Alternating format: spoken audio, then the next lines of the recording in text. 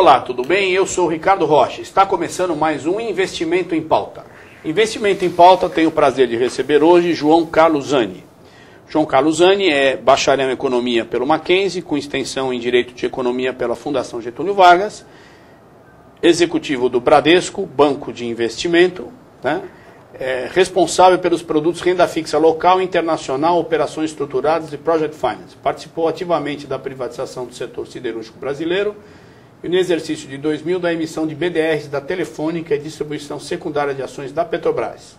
Essa marcada pelo pioneirismo na utilização dos recursos do Fundo de Garantia Tempo de Serviço. Liderou a área de mercado de capitais de renda fixa e variável antes da criação do BBI, sendo responsável pela originação, estruturação e distribuição. Tendo ingressado como analista de investimento, apresenta larga experiência no mercado de capitais, sendo representante do Banco Bradesco na Comissão de Mercado de Capitais da Ambima e diversas subcomissões na mesma associação, contribuindo assim para o desenvolvimento do mercado profissional certificado pela Ambima para a venda de, eh, a investidores qualificados, CPA 20. Zane, obrigado por ter aceito o convite, é um prazer tê-lo aqui. Obrigado a vocês. Nós começamos a nosso, o nosso bate-papo falando para o nosso internauta de todo o Brasil, e acho que uma questão fundamental, já que o Brasil vem ganhando destaque aí, recentemente tivemos a emissão aí, mega emissão da Petrobras, mas falar para aquele empresário que ainda não tem uma empresa no porte é, adequado para fazer uma emissão de ações, ou para aquele executivo que está tentando entender o mercado, ou para o próprio investidor.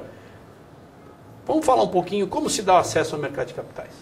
Bom, uh, as empresas em si, primeiro aí, uh, olá aos seus, uh, aos seus internautas, na busca, acho que, de mais informações, na busca de especialização e conhecimento em termos de mercado.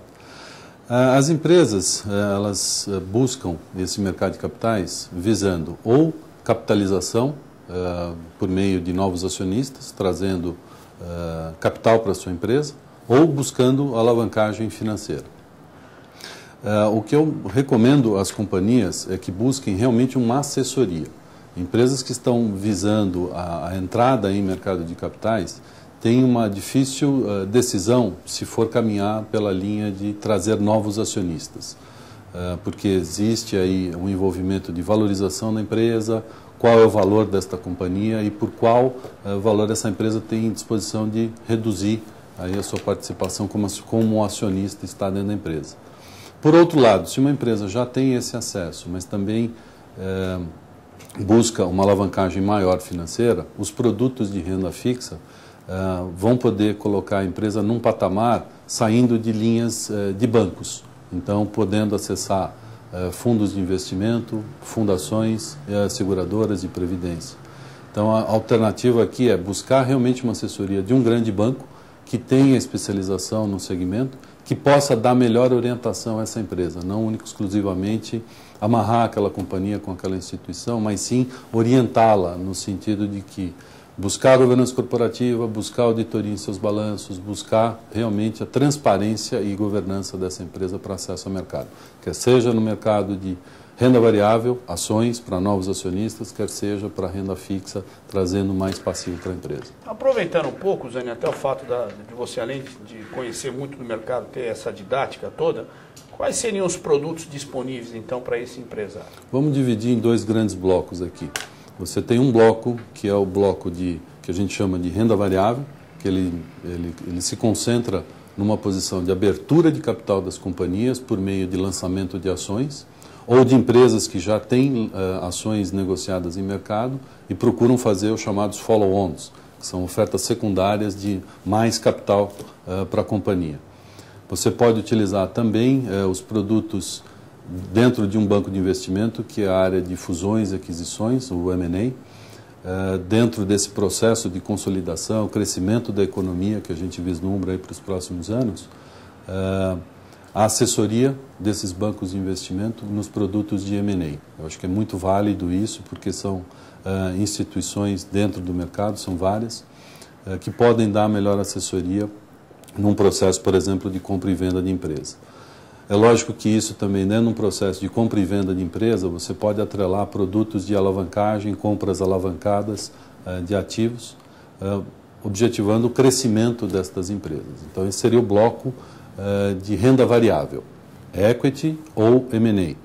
E você tem um grande bloco de renda fixa. Esse bloco de renda fixa, os produtos mais utilizados ou que estão mais sendo tanto pelo lado emissor quanto pelo lado comprador, que são os investidores, posso citar aqui debentures, notas promissórias, fundos de investimento imobiliário, eh, certificados de recebíveis imobiliários, seriam produtos, nota, eh, notas promissórias eu acho que eu coloquei também, eh, que seriam os produtos mais utilizados hoje no mercado e estão disponíveis. Zani, conta para nós aqui, para o internauta que está nos assistindo em todo o Brasil. Ah, acho que faltou um aqui, FDICs. Os, os fundos de, de, de direitos creditórios. Né? Também que possivelmente deva ter uma alteração aí de legislação. Então, acho que é um produto que pode retomar aí a sua colocação em termos de mercado. Para o internauta que está nos assistindo em todo o Brasil, é, fala um pouquinho dos principais investidores é, nesse mercado, né? Quer dizer, como é que é, principalmente, interessante, interessante. É onde, onde, ele, onde esse, esse empresário que está pensando em fazer alguma emissão, procurar um banco, uhum. onde é que o banco vai buscar o dinheiro? Acho que é Voltando é um pouquinho à sua primeira pergunta, quando eu, colo, quando eu coloquei que uma empresa que entra no mercado de capitais, ela pode ter uma nova fonte de financiamento ou um novo acionista. Olhando pelo lado de dívida, eh, financiamentos, as empresas hoje se, buscam financiamentos ou em bancos, ou em BNDES, ou às vezes órgãos internacionais, ou até realmente, ou às vezes emitindo títulos no mercado externo é, de dívida. Então, no mercado brasileiro, se a empresa está muito concentrada em bancos e instituições financeiras, no seu capital de giro, operações um pouco mais longas, financiamento de máquina via Finame, Finem, Exim, essas coisas, você pode acessar o mercado de capitais porque você vai abrir um outro bolsão de financiadores. Quais são eles, os, esses financiadores investidores? São os asset managers, são as fundações, são as seguradoras ou as empresas de previdência que buscam também diversificar o seu portfólio, não saindo, saindo uh, um pouco dos títulos públicos, onde tem uma grande concentração de aplicação, buscando uh, títulos corporativos, que pagam mais do que um título de, do governo em si, com risco zero. Então, você consegue abrir um outro bolsão de, de liquidez para financiamentos com esse tipo de investidor, que está buscando, obviamente, mais uh, rentabilidade em seu ativo. E nesse processo, eu queria que você explicasse para a gente, vou colocar duas perguntas aí. Pois não. Quais as vantagens né, para um empresário e que tipo de empresa pode acessar o mercado? E aí já você poderia aproveitar e falar em função do tamanho, qual o produto adequado. Né? Tá. Bom, as empresas que acessam esse mercado, primeiramente, eh, elas têm que ser eh, empresas de sociedade anônima. Empresas limitadas não conseguem ter acesso ao mercado de capitais. Eh, a legislação ela flui para esse para essa orientação uma sociedade de uma sociedade anônima. Não obstante uma empresa ser sociedade anônima, ela não precisa ser registrada na Comissão de Valores Mobiliários. Então, a CVM, o ano passado, 2009 fez a edição uh, da instrução CVM 476, que propiciou empresas SA de acessar o mercado de capitais por meio de dívida, não por equity, por ações, uh, acessar esse mercado emitindo os papéis, mas não tendo obrigatoriedade de registro como companhia aberta na Comissão de Valores Imobiliários. Então é um processo onde os bancos têm uma importância muito grande por meio desta instrução 476 aonde a diligência, o posicionamento eh, de crédito dos bancos que participam destas emissões, ele é muito importante para que ele leve os papéis, porque a 476, entrando só um pouquinho aqui na instrução, ela tem esforços restritos. Você só pode ofertar este papel para 50 investidores e, no máximo, você só pode uh, ter 20 investidores comprando este papel. Então, dentro do nosso mercado, eh, nós conseguimos eh, pulverizar dentro desses 20 investidores, gestores, eh, a colocação desses papéis. Então, uma empresa SA hoje, ela pode acessar esse mercado de capitais por meio de dívida. Você consegue, como vantagem em si, aquilo que eu coloquei de buscar novos financiadores para a sua empresa, que não somente bancos, então você vai acessar lá o Asset Manager, o fundo tal, ou a seguradora, ou a previdência, ou a fundação, buscando aí alongamentos de perfil de, de passivo, buscando uma redução de taxa de juros, várias vantagens para essas empresas. Por outro lado, estas empresas elas têm também que se comprometer com o quê? governança corporativa, auditoria, uma empresa SA tem que ter uma auditoria uh, externa dentro da sua empresa. Isso dá um pouco mais de tranquilidade aos investidores. Dentro do processo da, de um banco coordenando, sempre um banco de investimento ele vai ter que coordenar esta oferta. Uma empresa SA, capital aberto ou mesmo capital fechado, ela, ele tem que ter um intermediador. Uma empresa ela não pode acessar diretamente o asset manager ou a fundação. Eu estou dando só como exemplos aqui, mas ela não pode acessar diretamente, ela tem que ter um intermediário para poder fazer essa colocação. Pode ser uma corretora também, uma, até uma distribuidora.